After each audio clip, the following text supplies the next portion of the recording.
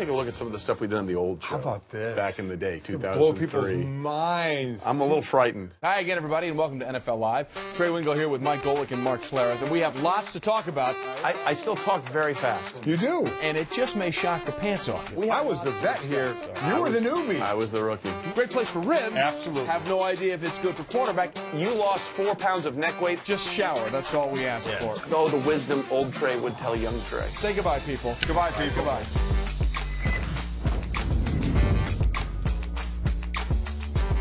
They are actually doing this. Wow. They are actually going to let that happen.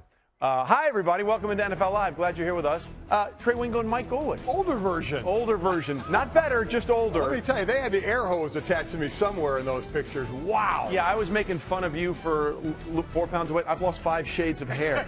so that's a that's a separate issue entirely. gosh. You may have heard we have a new show coming up, uh, Golic and Wingo, starting Monday morning on ESPN Radio, ESPN App, and ESPN2. We're very excited about that. It's going to be a lot of what you saw there, but only for four hours. Yeah, so really bad is what Yeah, we're saying. exactly so we right. appreciate you sticking with us.